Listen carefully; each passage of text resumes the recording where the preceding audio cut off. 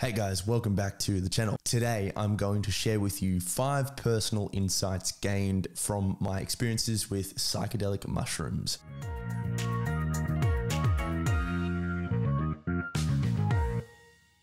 Straight off the bat, I have to say that I am not necessarily or in any way, shape, or form an experienced psychonaut. There are many people out there who are much more experienced with psychedelic uh, drugs and hallucinogens than myself.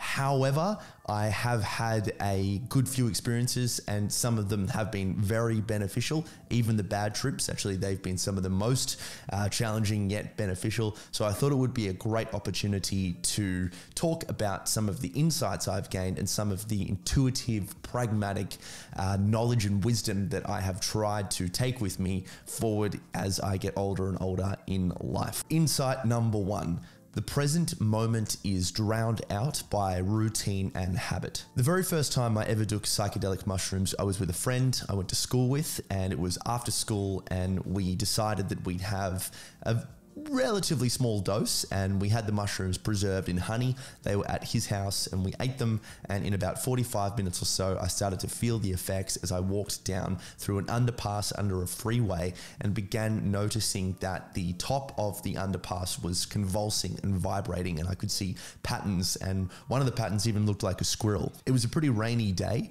Uh, the second thing I noticed was that the green grass area was the most beautiful green I've ever seen in my whole entire life. And it's actually still a color I am reminded of in this day and age whenever I see green because I'd never seen green like that. And I always have something to compare modern day green to. We decided we'd go for a walk after we uh, had really started to feel the effects. It was a really rainy day. A lot of the natural color was drowned out by the clouds. But I remember walking past a flower and noticing just how purple it was. I'd never seen anything quite like that in my whole life. Aside from the green that I was talking about before on the grass, this was the most beautiful color purple I had ever seen. And I couldn't fathom that I'd never seen a flower like this before, even though I'd walked past this particular area in the parklands many, many, many times. It was one of the most incredible things I'd ever seen. Something that I took from that experience was that the present moment, the heaven, the nirvana, the, the, the timeless Tao uh, that is surrounding us all the time and that permeates through us is drowned out as we lose ourselves in responsibilities and routines and habits and the uh, askings and tasks of the day to day life. Now, I'm not saying that responsibilities and tasks and obligations are not important because we need that to sustain us. We need to find a sense of meaning and uh, responsibility something that can definitely go a long way there, especially when it's social responsibility and, and, and, and needs that go beyond just the self. But I do also believe, and this is an insight that I've taken from that first experience, that we need to when we can come back to the present moment, whether that's through meditation or being captivated by awe or spontaneity, because those are the moments that we will look back on and really remember upon our deathbeds when we actually can't do those things anymore. So the color purple of that flower really, really showed me, and I believed it was telling me to to stay in the present moment when you can. Do what you have to do. This is what the Eastern Hindu traditions talk about Dharma and Buddhism Buddhism talks about Dharma. Do what you need to do because you're a human being and this is, you know, the time to get things done. But never forget who you are and where you've come from and that all of your answers and problems will be solved and you will find that bliss in the present moment. And the color purple uh, is something that I use to catalyze me into that space of infinite bliss. Insight number two I am not who I think I am. I'm actually what I do, and I can change what I do. Probably around the fourth or fifth time that I experienced psychedelic mushrooms, uh, I was about 18. I was on schoolies here in Australia, and it was the biggest dose I've ever had in my entire life. And the first hour of it was incredibly challenging. There was lots and lots and lots of anxiety. Uh, there was lots of nihilism. I didn't think I was ever going to be able to escape the prison that I'd found myself in. And uh, I thought I was going to die essentially. But what came from that experience was a hell of a lot of personal enlightenment and, uh, and wisdom gained, especially by coming through that initial challenging period of an hour, I felt like I was able to take on more and more difficult tasks because I'd never really pushed myself beyond my mental boundaries. I'd always push myself beyond my physical boundaries, whether it was sport or whatever I was doing, but mental boundaries was something that I wasn't quite used to uh, scrutinizing, I suppose. So I had all these experiences from my past come up and I saw it in the present. When I closed my eyes, I remember seeing my mum, who was 50 meters tall, looking over me as I was bound and shackled in a prison, and she was doing this with her head. And you know there was a hell of a lot of shame coming from that. And i remembered a specific experience in my childhood that that was associated with when i felt like i'd done something wrong by her and that was coming up again.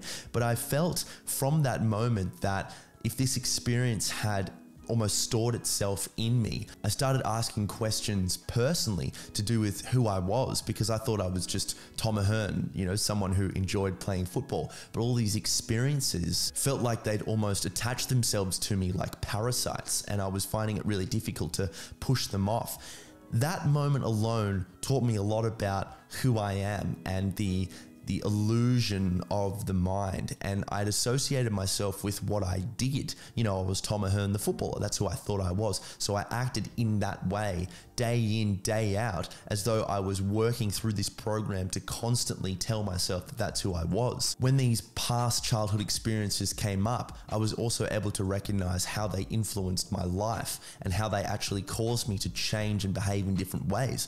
So as I started to, I suppose, psychoanalyze myself a little bit deeper whilst I was on these mushrooms, I started to have a think about all the different ways in which these experiences changed my course in life and if I wanted to actually take some of the power back and re-navigate on a on a personally fulfilling or, or more meaningful path myself. So from those experiences coming up seemingly out of nowhere, I learnt that who I am isn't actually a thing or an object in space and time, but it's actually what I do day in, day out. And if I don't like who I am, in which case I don't like what I do, all I have to do to change my identity is change what I do day in, day out. So I started to have to think about what I want to do and who I want to become. And some of the tasks that I now try to take on every day is I'll try to read for an hour every day. I'll try to get jujitsu in every day. I'll try to do all these things because I want to become someone that really has a lot of agency and autonomy over my life. So that was the second insight that came from a very challenging psychedelic trip, but uh, a very, very insightful and profound experience nonetheless. So, insight number three trauma is stored in the body. This is something that I realized as I was working through these past memories that I was actually getting a visceral response as though I was back in the experience itself, feeling that incredible shame and guilt from what I'd done as a child to my mum, which is relatively arbitrary if I was just to speak now about it, but uh, nonetheless, it had stored itself in my body as, a, as an emotion, and that emotion was guiding me throughout life. These trips weren't necessarily all bad or all negative or all challenging, they were also very positive, and some of the past experiences uh, that had stored themselves in my body were, were very wonderful as, as well. I can remember feeling bliss and happiness and joy and a lot of self love as well, which was something that I had not experienced for, uh, for a very long time, or perhaps not really allowed myself to feel because I was drowned by this unconscious sense of guilt and shame that had come from these particularly difficult experiences in my childhood. There's now a hell of a lot of research into the idea that trauma is stored in the body, and there are some great books around this idea from a very scientific basis. The Body Keeps the Score by Dr. Bessel van der Kolk is a great one. Waking the Tiger by Peter Levine too, and even from a an anecdotal uh, standpoint, when I have been to therapy and I've undergone some kind of trauma work in the past, I can remember feeling the feelings I felt when I was young and even acting in certain ways that I would have liked to act when I was in that experience as a child. One of the things that my therapist told me was that as she was working through a particular therapeutic technique which helps for people that are struggling with PTSD, this is known as EMDR she will see people respond in ways that they did when they were going through these traumatic experiences. One client, she said, uh, shot their hand up as fast as they possibly could. And they later told her that it was because the feelings of drowning came back when the trauma of nearly drowning and dying in the ocean came up from the meditative experience that was uh, EMDR. So there's a hell of a lot of science now that trauma is stored in the body, but I got that personal insight and that bit of wisdom from uh, my psychedelic mushroom experience when I was 18. Okay, so personal insight number four time is an illusion. This is probably one of the more cliche uh, pieces of wisdom that anyone can gain from a psychedelic trip, but nonetheless, it is true. Uh, this was a fairly recent experience that uh, my partner and I undertook when we were doing it at home, and we both kept looking at each other and talking about how time seemed to pass like seconds. It was like half an hour went within five minutes, an hour went within 10 minutes. I felt more or less ambivalent about the fact that time is an illusion illusion. And I certainly now know that time seems to travel a hell of a lot slower when I'm engaging in tasks that I find difficult or boring or arbitrary compared with tasks that I really, really enjoy, like creating content, like participating in jujitsu, uh, like my Sunday relationship days with, uh, with my partner and our dogs it seems to me that I'm much more in the present when I am captivated by awe and spontaneity and new information from the environment. And uh, I'm surrounded by people that I'm really interested in and uh, very engaged with as well. All of that stuff makes time travel very, very fast. So when I say time is an illusion, time from the objective standpoint of seconds uh, traveling by as seconds do, when you look at a clock, uh, when you look at an analog clock, that concept of time is an illusion. It's a very great way for us to maintain structure and order and get along. And it's very, very necessary. That's a conservative argument. It's very, very necessary. But the actual sense that time is an illusion to me makes sense because it's a construct and it's subjective based upon what we're doing and how we're feeling in those moments. The final insight that I've gained from my experiences with psychedelic mushrooms is that enlightenment is a process, it is not a destination. When I started reading some of the more Eastern philosophical traditions and religions, I stumbled upon this thing called enlightenment. And Aldous Huxley, who is my favorite author of all time, constantly spoke about the idea of burning the boats when you reach the shores of nirvana. So when you finally get to that state of oneness and uh, and the dissolve of duality and the conjunction of yes and no, you are finally enlightened, liberated from the shackles and bounds of the ego. You have reached moksha, and that is you, and you are done for eternity. I always thought it was a destination because it's certainly written as though it is. But what I've come to find with my experiences with psychedelic mushrooms is that enlightenment is actually a process. And every day, as I learn more and I see myself more from the outside, and I'm open to critique and honesty from other people who can act as my mirrors. I am constantly reinforced with this idea that as I learn more about myself, my integrity expands and I'm becoming more and more enlightened to the degree that I challenge my thinking. And that is the same for all of us. The more that we challenge our perspectives and the more that we are willing to step our toes into the chaotic waters, the more we are going to learn about not only ourselves and the way we function, but how the world and society functions and these matrices and these moral matrices, I suppose, that we have set up that we just take to be true.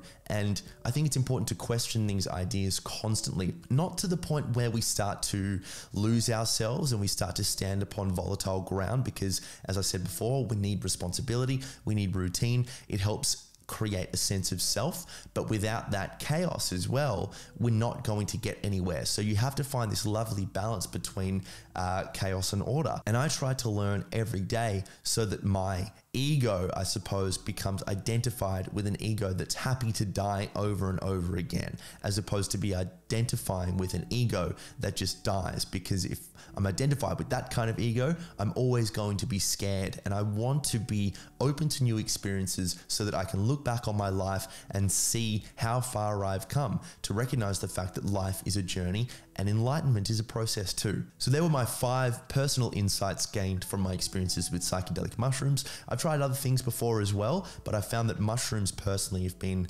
incredibly insightful for me along my lineage of life. I'd love to hear about some of your experiences or if you plan to use these plant medicines for beneficial use. More and more now is coming out about the therapeutic psychological benefits of plant medicines and hallucinogens. And I'm just so happy and excited to live in a world where we are starting to open ourselves to these ideas that not too long ago were very, very much frowned upon and made illegal, which I think is really unfortunate and as we now know, unnecessary. Guys, thank you so much for watching this video. Leave a comment in the comment section below. As I said, I'd love to hear more about your experiences, uh, some of your readings and insights gained as well.